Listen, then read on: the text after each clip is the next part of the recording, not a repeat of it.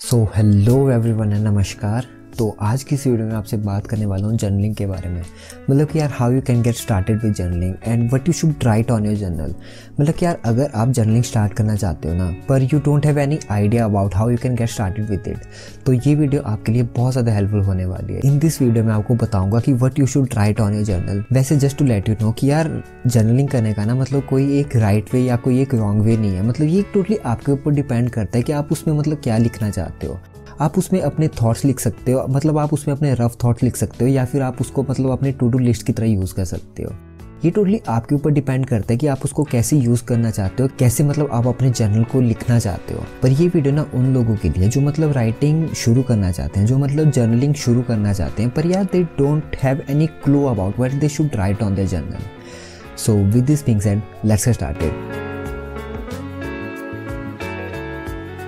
देखिए यार, मुझे ना जर्नी करते हुए आई थिंक रफली एक साल से भी ऊपर होने वाला है तो I think you can trust me with my words तो मतलब मैं ना शुरू में मतलब जब मैं जर्नी किया करता तो मतलब मैं ऐसे किया करता था कि मैं मतलब दिन में दो बार अपने जर्नल में लिखा करता था।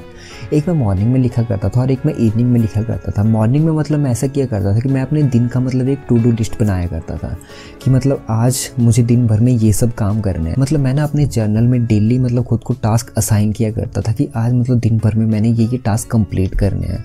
और इवनिंग में मैं अपनी प्रोग्रेस को नोट डाउन किया करता था कि मतलब आज मैंने इन टास्क को कंप्लीट किया या नहीं। मतलब जो मैंने टास्क खुद को सवेरे असाइन किए थे ना, वो मैंने आज मतलब कंप्लीट किए या नहीं? या फिर उनमें से मतलब कौन कौन मैंने कंप्लीट किया और कौन कौन मुझसे रह गए? वैसे आई थिंक मैंने अपनी एक और वीडियो में भी आपको बताया कि इन दिस वे मेरी प्रोडक्टिविटी भी बहुत ज़्यादा इंक्रीज हुई थी। तो अगर मतलब आप भी राइटिंग शुरू करना चाहते हो ना, आप भी मतलब जर्नलिंग शुरू करना चाहते हो, पर you don't have any clue about it so I think आप भी इस अप्रोच को शुरू कर सकते हो कि यार मतलब आप भी दिन में मतलब दो बार लिखना शुरू करो।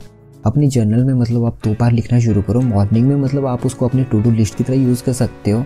और शाम को मतलब आप उसको अपने प्रोग्रेस नोट डाउन की तरह यूज़ कर सकते हो। मतलब अपनी प्रोग्रेस को आप उसमें नोट डाउन कर सकते हो। और विद अलॉन्ग विद इट आप मतलब उसमें अपने सारे रफ थाट्स लिख सकते हो कि how you are feeling at that right moment पर यार फिर से मतलब मैं आपको बता रहा हूँ कि जर्नलिंग का ना मतलब कोई एक राइट वे या फिर कोई एक रॉन्ग वे नहीं है।